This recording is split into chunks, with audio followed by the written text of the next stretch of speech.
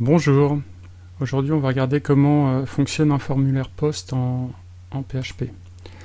Alors pour faire ça on va prendre un, petit exemple, on va utiliser euh, deux fichiers, un fichier qui s'appelle index.php qui va présenter un formulaire permettant de faire euh, une addition.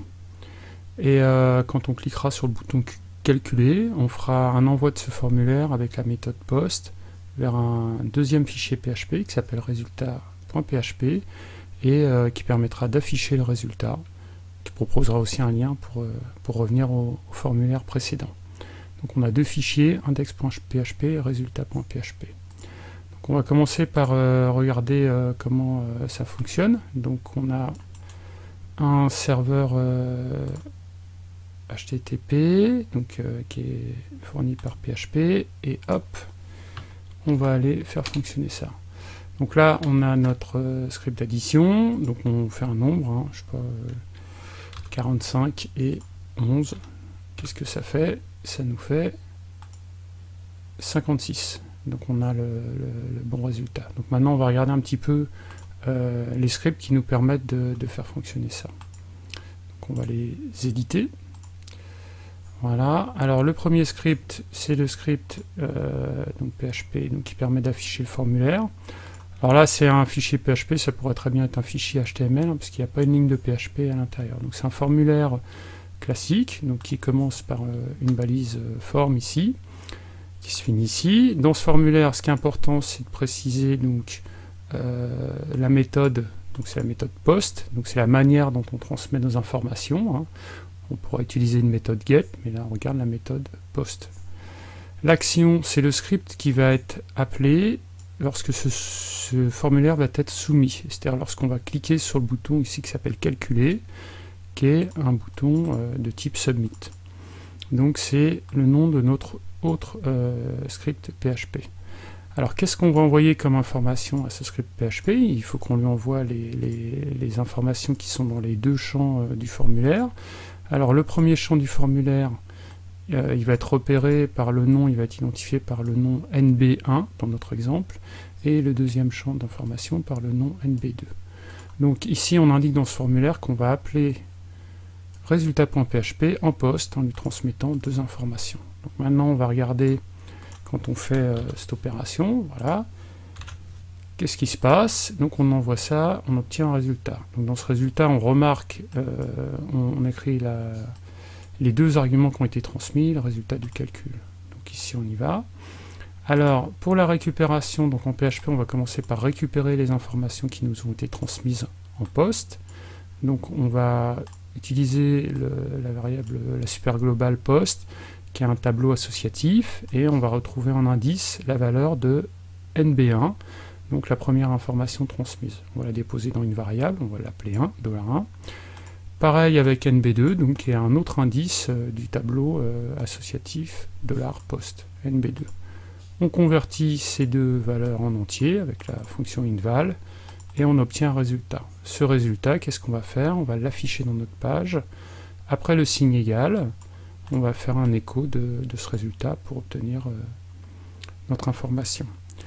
Alors maintenant qu'on a donc bien compris donc méthode post, transmission des arguments, soumission et après récupération. On va regarder un petit peu plus en détail ce qui se passe au niveau du, formulaire.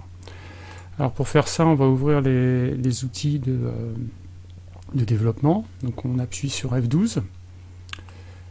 Donc voilà, F12, je vais dans l'onglet Network, ce qui m'intéresse c'est ça. Et là, on va euh, donc soumettre un calcul. Par exemple, 5 euh, plus 12. Et on va faire calculer.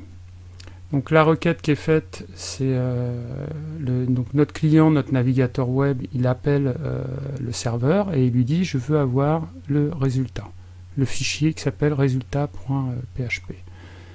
Si on regarde ça au niveau de notre serveur, donc on vient de demander euh, le résultat.php. Ça c'est l'exemple qu'on a fait précédemment, hein. donc résultat.php. Alors qu'est-ce qui se passe plus précisément? Donc là on va regarder un peu le, je vais, zoomer un petit peu.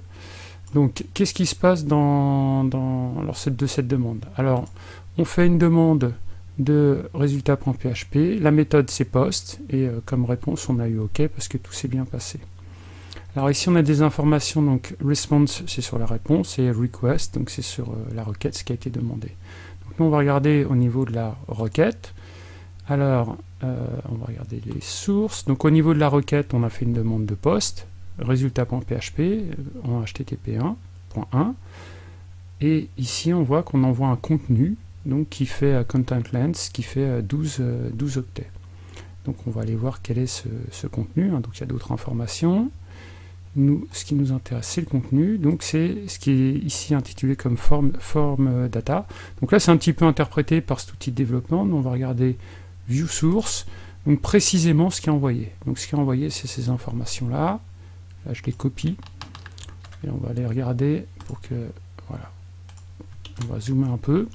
Donc voilà ce qui est envoyé au formulaire. Hein. Euh, au formulaire, au serveur comme demande. Hein. Donc dans la donc 12 octets qui sont envoyés, hein, donc c'est ces 12 octets là qui sont envoyés. Euh, alors ici, les arguments ils sont séparés par un et commercial, donc il y a NB1 qui est envoyé et NB2. Signe égal et après leur valeur. Donc il y a la valeur 5 qui a été envoyée et la valeur 12. Donc notre euh, script PHP, il reçoit comme information donc NB1 et NB2.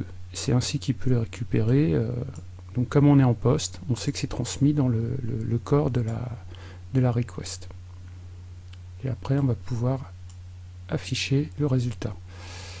Euh, la réponse, bah, il n'y a pas grand chose à en dire. Hein. donc euh, la réponse, si on, c'est ce qu'on a ici. Hein. donc c'est le, code qui est renvoyé. c'est le code qui est renvoyé par, le navigateur. Hein, donc, euh, si on va regarder la réponse, donc son contenu, donc c'est le, code HTML qu'on retrouve ici interprété euh, par notre navigateur. Donc voilà. Donc sur ce, on a fait le tour. Donc je, je recherche le formulaire. Donc là, je suis dans le résultat. Donc dans le formulaire, donc voilà, en forme, donc l'action, la méthode, et bien être au clair sur euh, comment on nomme nos arguments pour pouvoir les récupérer de manière cohérente dans notre poste. Bon bah écoutez, euh, je vous remercie pour votre attention et puis je vous dis à bientôt. Au revoir.